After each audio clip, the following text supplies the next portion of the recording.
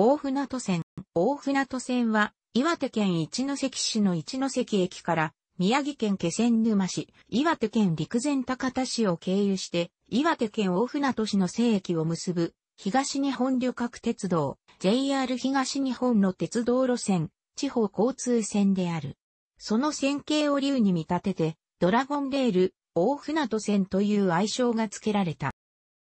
気仙沼駅西駅間は、気仙沼線、三陸鉄道南リアス線、山田線三陸鉄道北リアス線、八戸線とともに、三陸海岸沿岸部を走行するが、2011年、平成23年3月に発生した東日本大震災以降は普通とっており、2013年3月2日から BRT バス高速輸送システムが運行されている。なお、大船渡線及び気仙沼線の BRT は2016年のグッドデザイン賞、グッドデザイン金賞を受賞した。全区間が盛岡支社の管轄である。列車は一関駅気仙沼駅間で運行されている。1992年、平成4年3月14日からワンマン運転を行っている。2013年、平成25年3月16日のダイヤ改正で快速スーパードラゴンが廃止され、定期列車はすべて各駅停車となり、大半がワンマン列車となった。2011年、平成23年3月11日の東北地方、太平洋沖地震、東日本大震災で全線が普通となり、同年4月1日には、一関駅気仙沼駅間で運転を再開したが、気仙沼駅西駅間は普通のままである。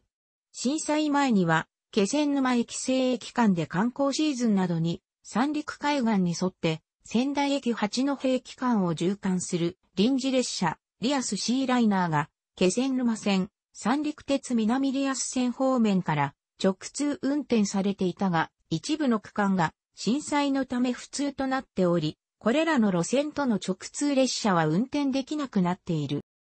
2012年、平成24年12月22日から、一関駅気仙沼駅間で、キハ100系機動車2両を改造して内外装に、ポケットモンスターのキャラクターを装飾した、ポケイモンウィズユートレインによる、臨時、会、ポケモントレイン、気仙沼号が、土休日や春、夏休みなどを中心に運行されている。車種は特記なければ、気動車、車両、上鹿折発着を除くは、ハイブリッドノンステップバス、日野、ブルーリボンシティハイブリッド、いすゞエルガハイブリッドが主体になっている。BRT 開業時には、日野のハイブリッド車と、気仙沼線、BRT の暫定開業時に導入されていた、中古車の一部を転用した車両を配置した。その後、中古車を置き換える形で、日野車の追加に加え、イスズのハイブリッド車を新たに投入した。車体は赤色をベースに、沿線のキャラクターがラッピングされている。前述の中古車を改造した観光型は、三陸の海をイメージした青色主体のデザインとなっている。車両は JR 東日本所有で JR バス東北同様の車両称号がついている。運行に関する業務は岩手県交通、大船渡営業所、高田市署に委託されている。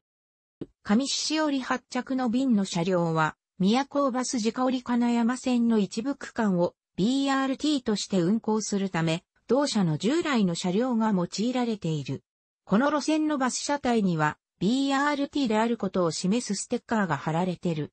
1918年、大正7年に、軽便鉄道法により一ノ関気仙沼間が計画され、翌年に大船渡までが追加されたもので、1925年、大正14年から1934年、昭和9年にかけて全通した。大船渡駅西駅間は、改正鉄道敷設法別表第7号に規定する予定線の一部で、1935年、昭和10年に開業した。この予定線の残りの区間の一部は1970年、昭和45年に、聖線として開業し、1984年、昭和59年に三陸鉄道南リアス線として全通している。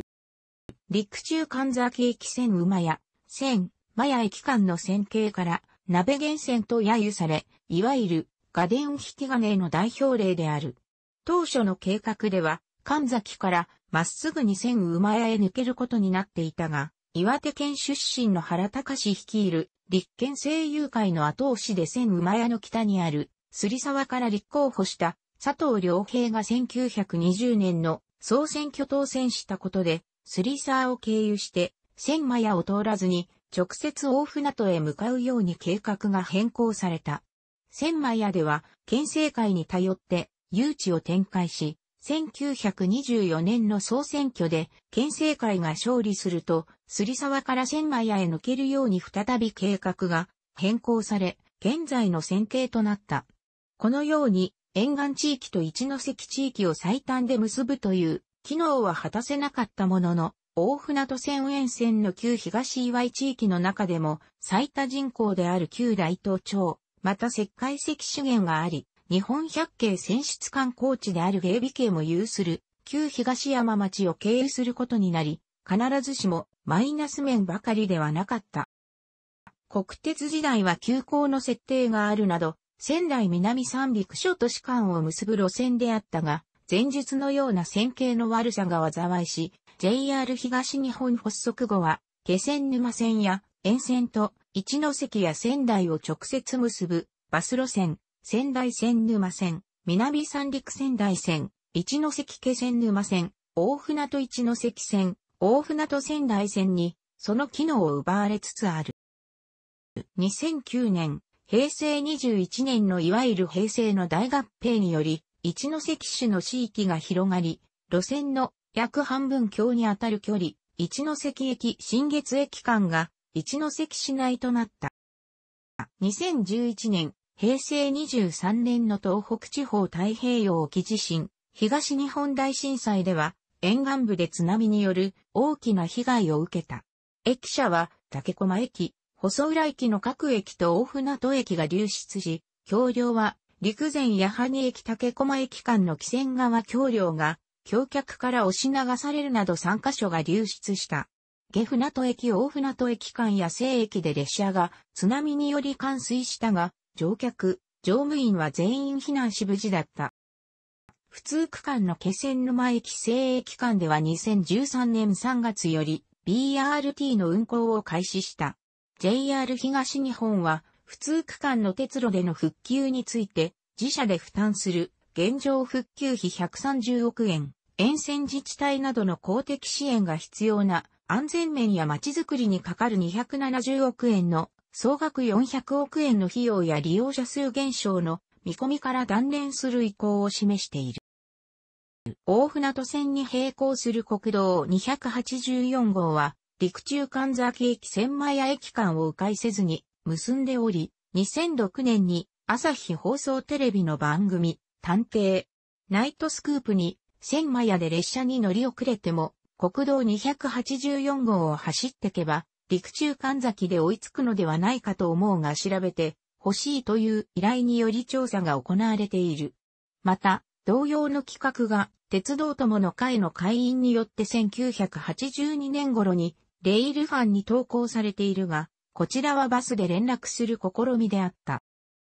楽しくご覧になりましたら、購読と良いです。クリックしてください。